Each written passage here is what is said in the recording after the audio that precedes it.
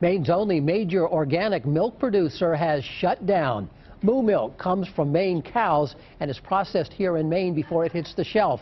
WMTW News 8's Lindsay Liepman is in China to explain what the shutdown means for you and for farmers.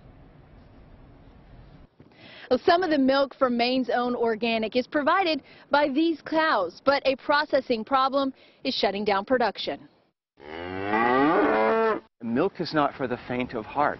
Spencer Atel chose to be an organic dairy farmer. He wasn't born into this business, but it's in his blood. It's, it's incessant, it's just crazy, it's hard on the bod, but most of us wouldn't give it up. We're just always curious to see how that next heifer calf turns out. He and 11 other farms provide raw milk to Maine's own organic milk, and it's been a sunny relationship. The decision to go with a local dairy was philosophical. We really wanted to take our production and bring it home. Moo milk has been processed at Smiling Hill Farm in Westbrook until two days ago.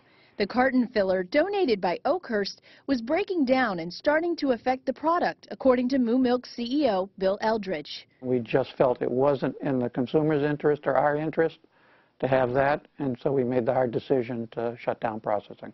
Well, the darn thing about all this is that the market is there. People want to buy the product. We were doing great. Now, the last cartons of Moo milk are already on the shelf. And for the next 90 days, raw organic milk from Moo Milk suppliers will head to New Hampshire's Stonyfield Farm. Our first concern is our farmers. Um, they're paramount in our mind. If we can guarantee them a home, then our basic mission is continued. The shutdown is already causing a ripple effect that goes far beyond the farm.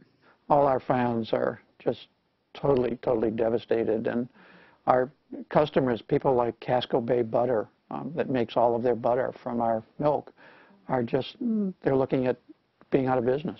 Eldridge says if he didn't see the glass or carton half full, he wouldn't have started the company. Yes, I'm always optimistic, but it, it's a hard road to hoe. Maybe there's a plan B for us. I'd like to think so. Moo Milk is still hopeful that a solution can be found to keep the brand going. In China, Lindsay Liepman, WMTW News 8.